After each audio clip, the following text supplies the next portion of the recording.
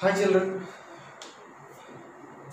After uh, knowing about electric flux, the next concept is continuous charge distribution.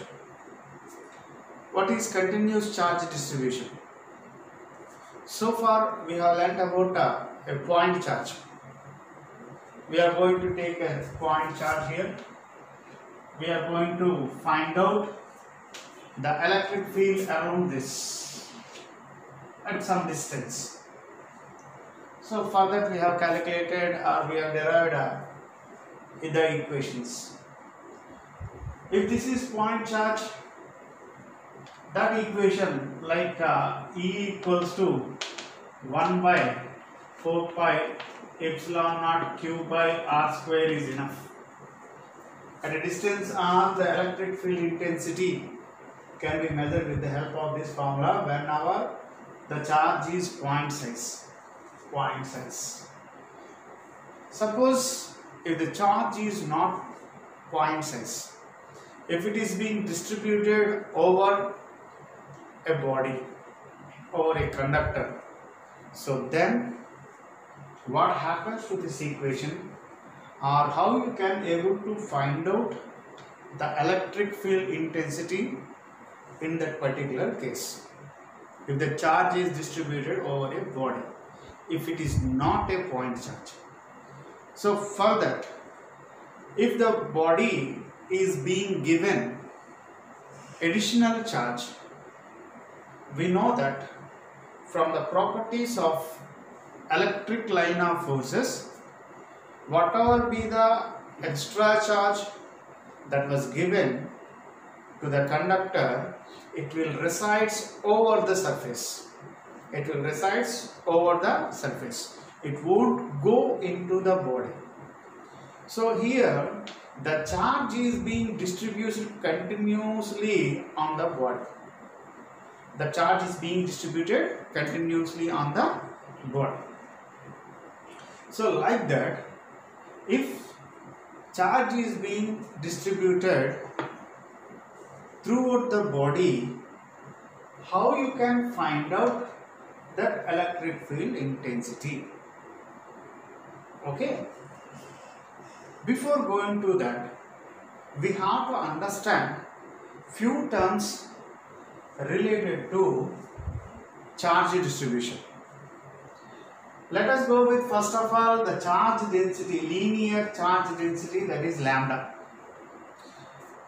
this is nothing but linear. Linear means here while you are going to take a straight thing uh, it is said to be linear.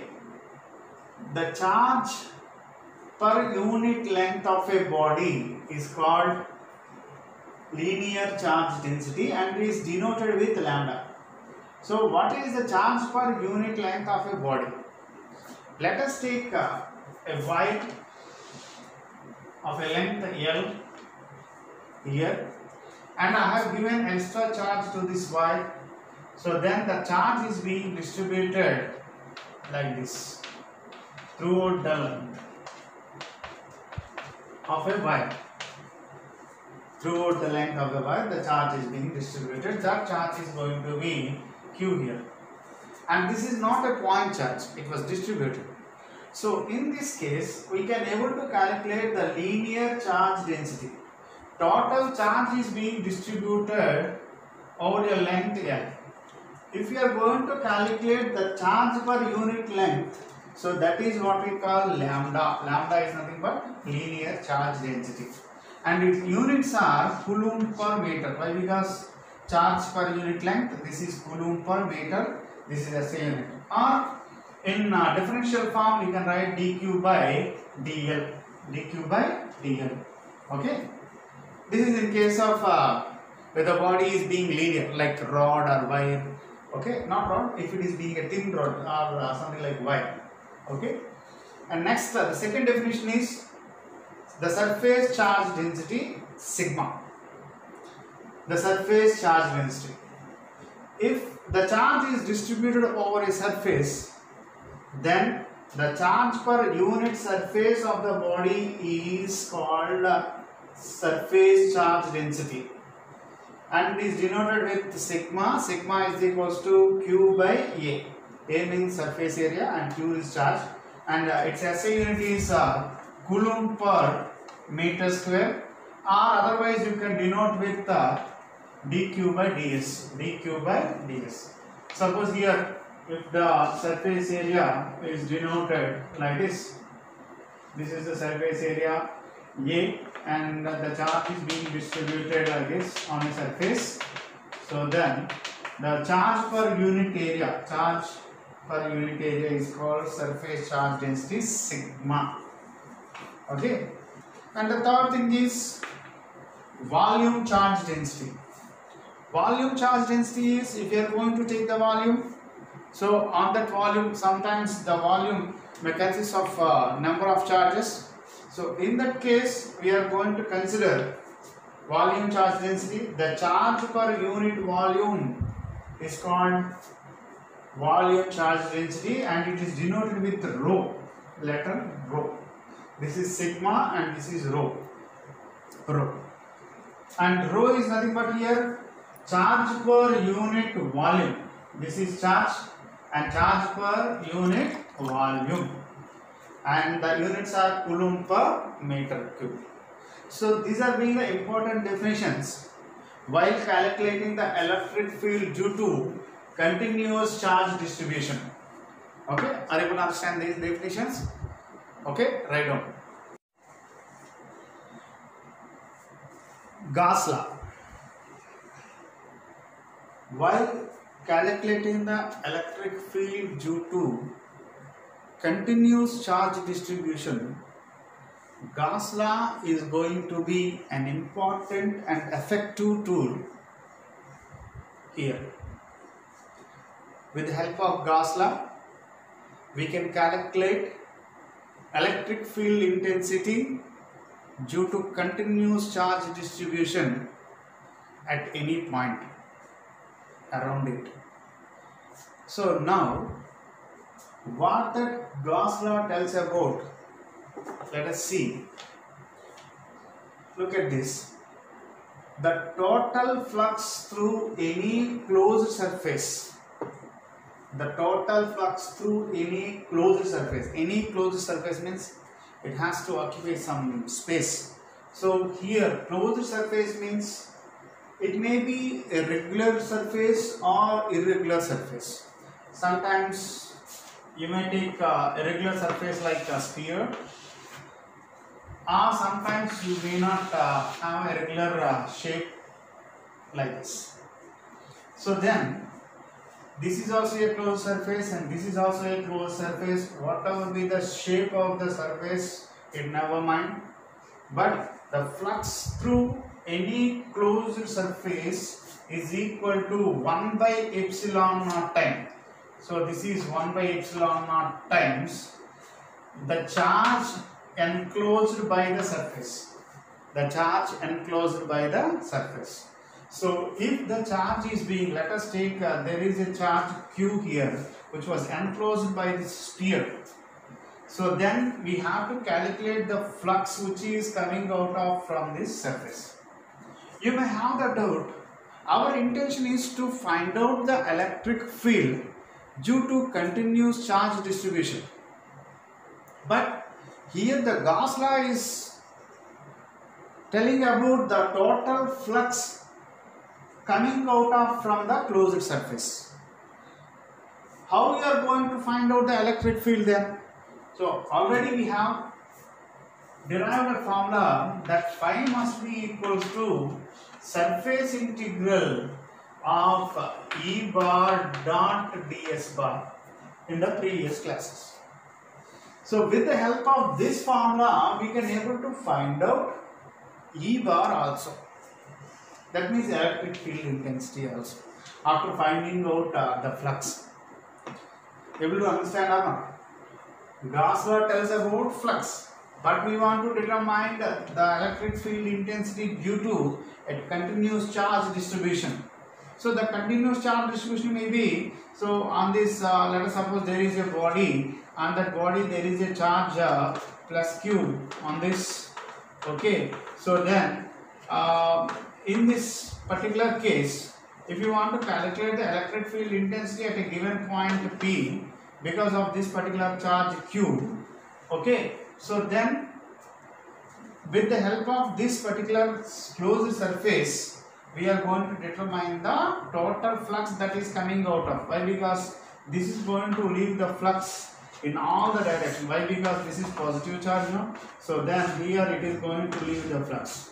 So we want to calculate the total flux that is emerging from this charge Q and thereby we are going to identify the electric field intensity at point P due to this particular continuous charge distribution. For this we are going to apply this Gauss. And similarly here also if there is a body like this and here also we are going to have some charge Q placed on this and here also we can expect uh, the electric lines of forces which are coming out like this okay so then the total flux which is coming out of from this charged body with the help of this or the flux which is coming out of from this uh, closed surface then uh, with the help of that total flux we can able to find out electric field intensity. Okay? So here very important thing is once that particular charged body is being covered with some irregular surface or with uh, closed surface that means regular surface here whatever be the flux that is emerging from this particular closed from this particular charged body that has to come from this surface only. It cannot go anywhere. Suppose if you are going to keep one electrical lamp inside this closed surface so what whatever be the light that is coming out? Definitely that light has to pass through this surface only. There is no other alternative. It cannot escape from any other manner so now if you want to calculate the net flux that is coming out of from the surface will be equals to flux given by this charged body. That is the key point here. So then the total flux through any closed surface, any closed surface is equals to 1 by epsilon naught times the closed 1 by epsilon naught times the charge enclosed by the surface. Here let us suppose the charge is going to be Q1 and here the charge is going to be Q2. So then here the flux uh, phi 1 will be equals to Q1 by epsilon naught and here the flux phi must be equals to Q2 by epsilon naught. Okay. So like that here the Gauss law is going to tell about the flux which is coming from a closed surface which carries some charge okay? Please note, make note of this definition and this definition is important. So may also be stated as the surface integral of electric field over a closed surface. This is surface integral of electric field. What is surface integral of electric field here? This is surface integral of electric field. This is what we call surface integral of electric field. If you are going to take like that. Or a closed surface. Or a closed surface means we are making use of this symbol. This is a circle here. Or a closed surface. We have to integrate with respect to ds. Or a closed surface is equal to 1 by epsilon naught times the charge enclosed in it. 1 by epsilon naught times the charge enclosed in it. Alright. So here again the charge is being enclosed in a closed surface. This is closed surface. Don't think this is going to be a closed boundary. Simply a line. It's a surface. It has to occupy some space inside this. Okay. So in that there is a charge. So here over a closed surface, yes here or a closed surface, we have to determine the electric field. Then the electric field over a closed surface is equals to 1 by epsilon naught times 1 by epsilon naught times 1 by epsilon naught times of charge which is being enclosed. Charge enclosed means here which has to be multiplied with q. So this is q by epsilon naught. So again uh, this formula is uh, coming up with the previous definition. We already know that phi is equals to integral over a closed surface, surface integral over a closed surface e into ds. We better use uh, bar here because both are being uh, vectors and uh, from the definition we can write flux previous definition flux phi is equals to q by epsilon naught so hence uh, with these two we can write uh, integral surface integral over a closed surface over a closed surface integral over a closed surface is e bar dot ds bar which will be equals to q by epsilon naught so these two definitions are important you can write any any one of the definition while explaining Gauss law. So let us go with the proof. Okay, how we are going to operate. Next one is proof of Gauss law. This is also important for short answer question. So we have done this derivation previously while calculating the electric flux due to point charge. The same derivation we are going to do once again uh, to arrive the electric field intensity due to discharge at a distance. With the help of that derivation, we are going to know about electric field intensity.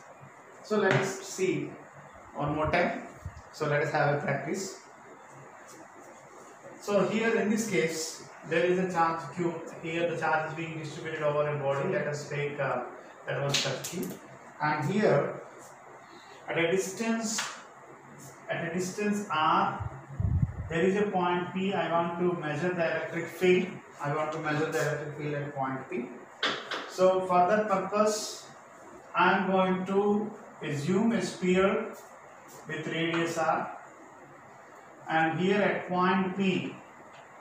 I am going to take uh, on this around this point p i am going to take one uh, surface small surface element that is nothing but ds. On the ds element the ds vector will be perpendicular to the surface.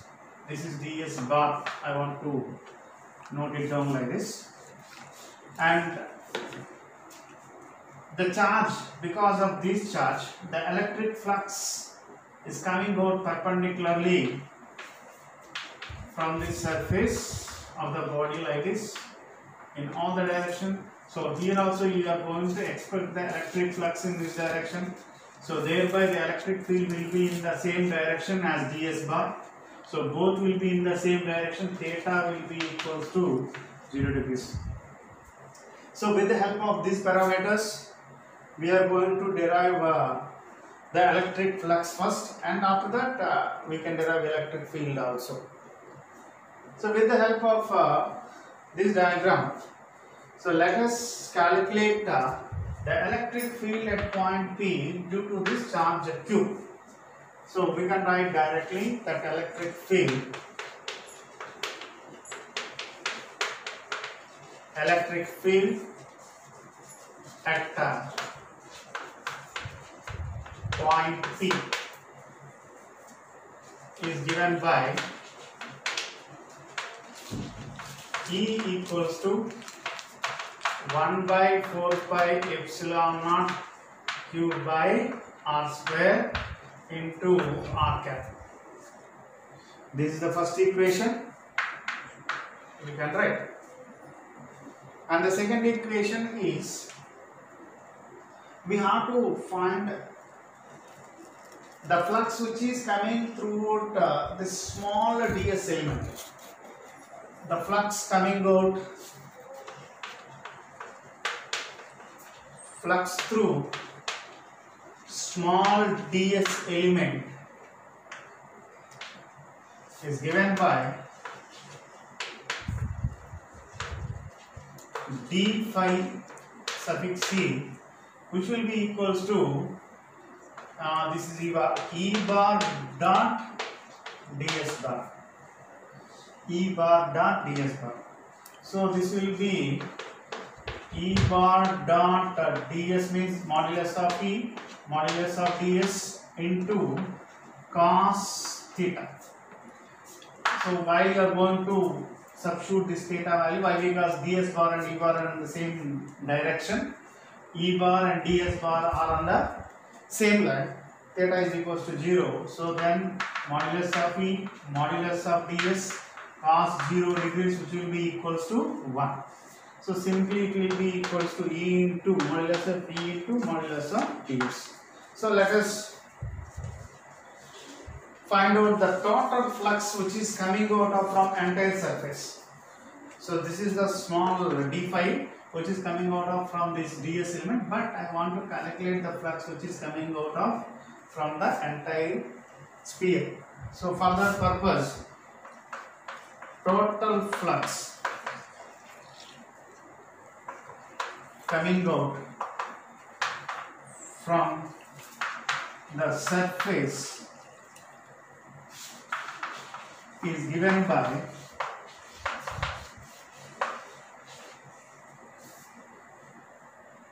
phi e must be equals to. For total flux we have to integrate this value. So this is surface integral d phi e which will be equals to integral. What is this? Integral in place of d phi we are going to write simply e into d's. So this is the second equation you can take and this will be the third equation. So from this we can continue. This in the next slide. We have e equals to integral ds substituting the e value there. This will be equal to 1 by 4 pi epsilon naught q by r square. Which is integral surface integral or a closed surface also we can take it as or closed surface. Uh, into ds into ds so all these are going to be constants here. 1 by 4 pi epsilon naught is constant q that is being there inside the surface. That is also constant. R is constant. So then we can write it as 1 by 4 pi epsilon naught q by r square integral over a closed surface ds. What is integral over a closed surface? If we are going to integrate the total surface, that is nothing but the surface area of uh, the sphere. Surface area of uh, sphere, that is nothing but integral ds value, closed integral ds value is nothing but surface area. What is the surface area? If the radius is going to be r here, the surface area of the sphere will be total s must be equals to how much here? 4 pi r square. 4 pi r square. You already know this. So the total surface area will be 1 by 4 pi epsilon naught q by r square. This surface area will be equals to how much here? 4 pi r square. So if it is 4 pi r square, so let us cancel out uh, the things here. So this will be r square, r square gets cancelled. So this is q by epsilon naught. Hence the total flux phi is equals to epsilon naught q by epsilon naught and automatically you can write uh, uh, the things like uh, phi e equals to integral over a closed surface e bar dot ds bar must be equals to q by epsilon naught. So hence this is going to be the proof. We are arrived with phi e is equals to q by epsilon naught. So this is the derivation. Okay. Right. The next uh, concept is Gaussian surface. This is a small concept. No need to learn this uh, by heart this definition, but you have to understand the concept here. Why? Because we are going to uh, take uh, Gaussian surface while solving uh, the electric field problems. Next coming up, we are going to have three applications, and the three applications are also going to be very very important in the board of board point. Uh, let us go with the definition of uh, Gaussian surface. Gaussian surface. So here, while we are going to take a charged body, charged body. Let us take the charged body maybe any shape here. So uh, let us take uh, that charged body might be like uh, a rod, a rod like this, and on this rod uh, uh, you can expect uh, a positive charge like this. Uh, the, if the body is that rod is going to be charged here, and I want to find out the electric field at this particular point. So if I want to find out the electric field at a point here, let us take point P, which is at a distance r from this. I am going to assume a surface here. That means around this. To close the total conductor here, I am going to assume a surface like this. This is the Gaussian surface cylindrical surface. So this is the Gaussian surface. This is what we call Gaussian surface. See, uh, what we can uh, able to tell about Gaussian surface means it has to be surrounded over a conductor, charged conductor or charged body such that the electric field at any point let us take this point, this point or around this any point which is at a distance r, all the points are going to have the same electric field. The same, let us take this is point P here, this is point Q, this is point uh, R, this is point S. So all these points should have constant electric field. This is constant electric field. And uh, the flux to the surface to be perpendicular. The flux has to come perpendicular. So the flux has to come perpendicular means here always the electric lines of forces has to come perpendicular to the surface like this. See, I will give you one example. So uh, it's a regular example. Let us go with uh, a tube light. A tube light is going to give us light. So now under tube light we can expect uh, a glass surface. There will be a white glass now. So that white glass is going to give the light in all the directions.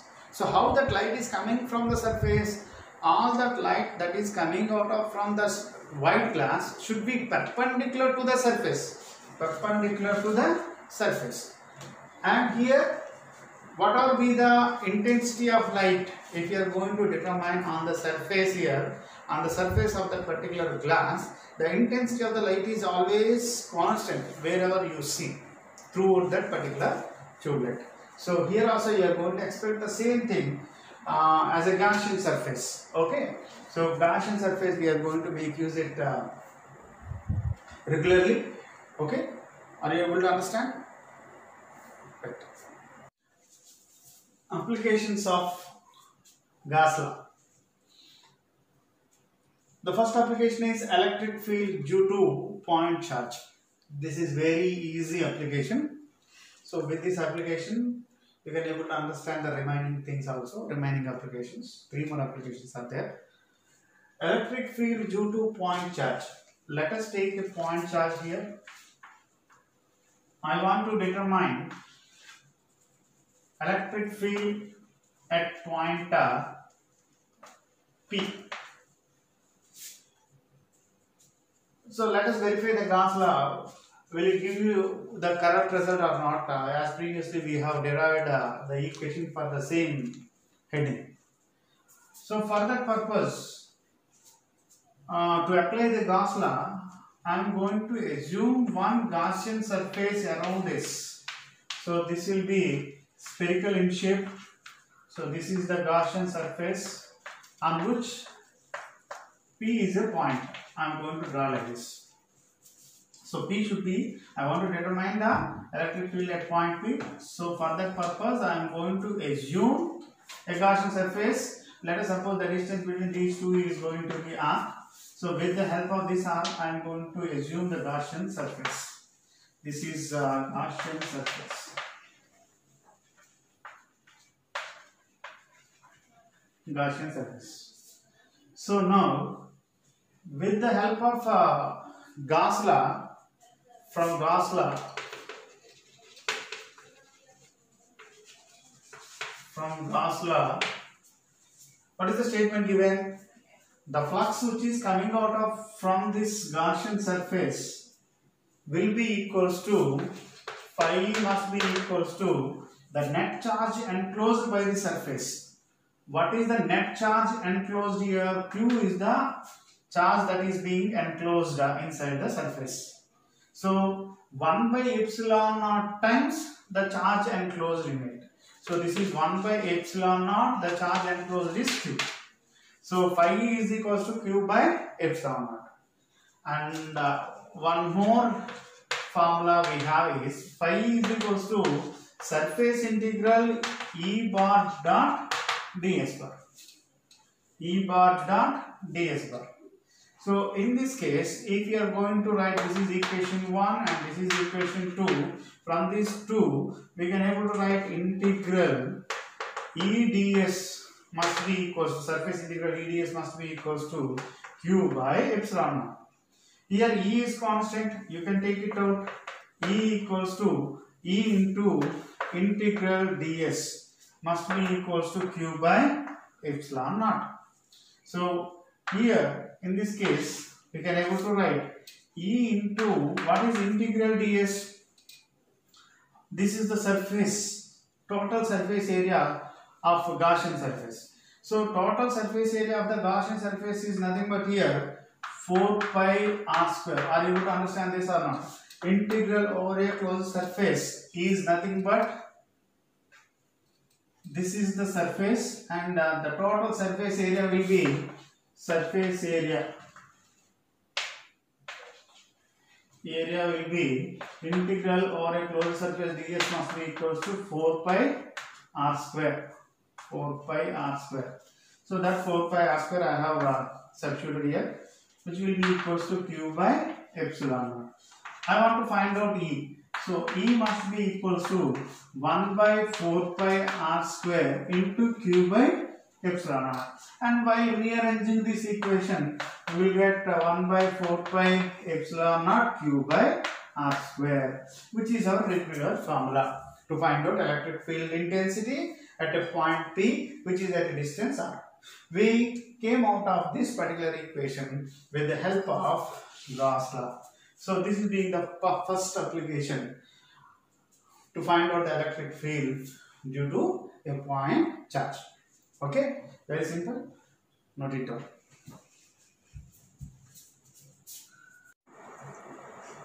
The next application is electric field due to an infinitely long, straight, uniformly charged wire. So the heading is going to be a little bit bigger, but uh, the concept is not that much. Electric field due to an infinitely, so this is infinitely a charged wire. So this is so long.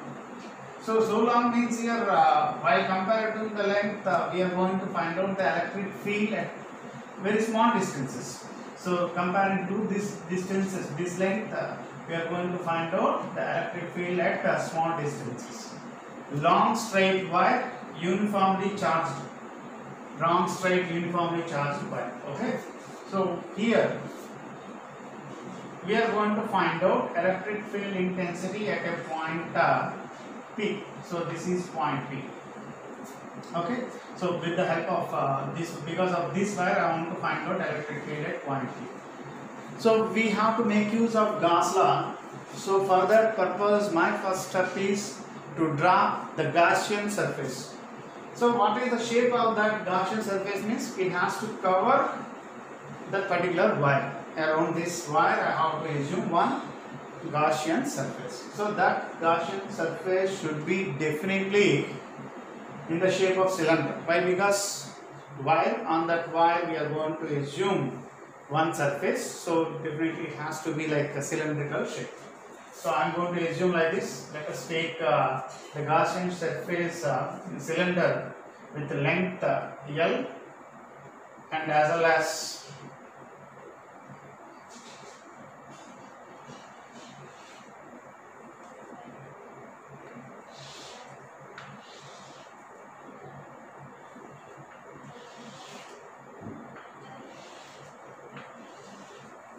this is the Gaussian surface and the length is going to be L here, L length and uh, the distance between point P and as well as uh, this wire is going to be R.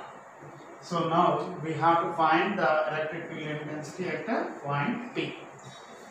So now Gaussian surface is being formed and now later we have to assume a small uh, element here. So this element is going to be ds.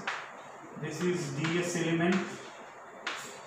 ds element, small element on this Gaussian surface. So ds bar will be in this direction and similarly your E bar will be also in the same direction. Why? Because electric flux will be entirely it is coming out in all the directions like this. So here the electric flux will emerge out from this cylindrical surface around this. So both uh, e, e bar and ds bar are being in the same direction.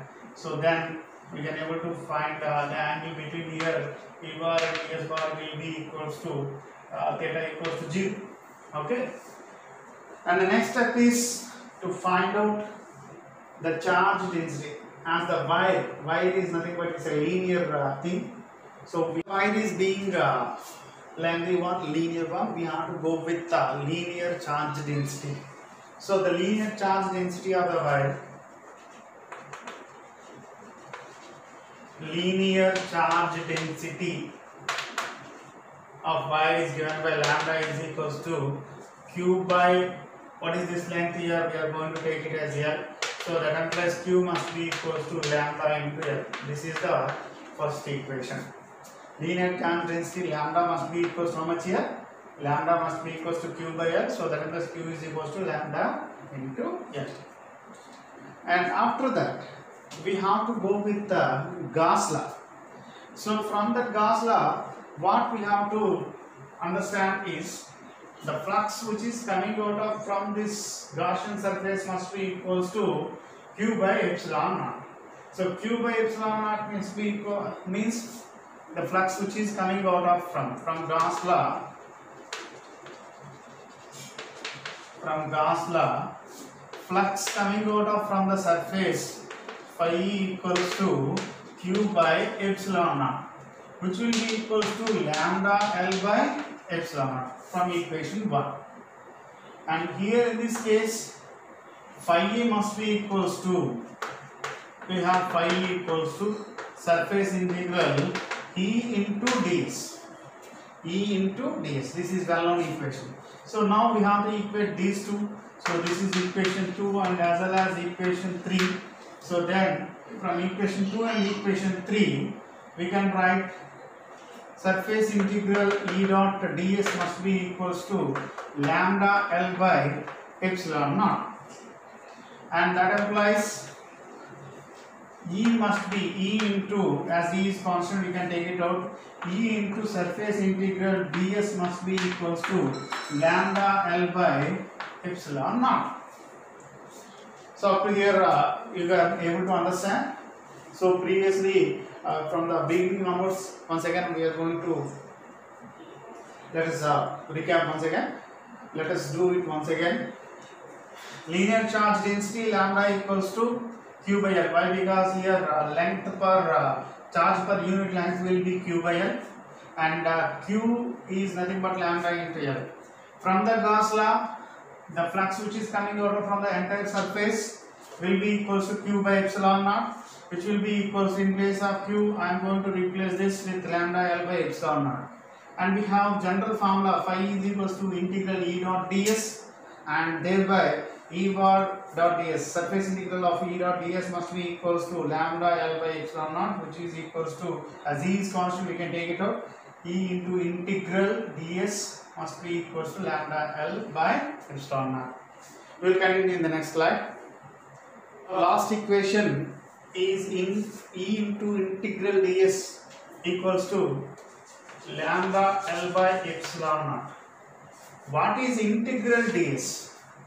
The surface integral. We are going to take only this surface. We are not going to take this surface and this surface. Why? Because here uh, ds values will be 0. Uh, integral E bar dot ds bar will be 0. Why? Because here if you are going to take uh, the for this surface ds will be in this direction and e bar will be in this direction. Why? Because always it has to come out perpendicularly. So these two are being at 90 degrees. So then e bar dot ds bar will be 0. e bar dot ds bar will be 0. And here also we are going to take the same. So ds bar will be in the downward direction and e bar will be in this direction. So then these two are going to be perpendicular. Theta is equal to 90 degrees. So again uh, e bar dot ds bar will be equal to 0. Pi Because cos 90 is 0 here. And now we have to assume this side surface, side wall surface. We have to take only consider uh, the side wall surface. That side wall surface is going to give the integral. So the this is integral ds is nothing but uh, uh, side wall surface of uh, cylinder. Cylinder. So here this will be equals to then integral ds must be equals to what is side wall surface here? This is 2 pi r into l. This is 2 pi r multiplied by l. So in place of ds we can write uh, 2 pi r into l so therefore e into 2 pi r into l gives rise to lambda l by epsilon naught so e must be equals to lambda l by this is 2 pi rl multiplied by epsilon naught. So this L and this L will get cancelled and you left with E equals to lambda by 2 pi r into epsilon naught. So this is your finalized equation. Okay. So this is electric field due to uniformly charged bar. Okay, straight bar. So this lambda is nothing but linear charge density. We have expressed the electric field in terms of linear charge density of the wire. So lambda by 2 pi r to epsilon r. So very very useful result. Okay. Please make a note of.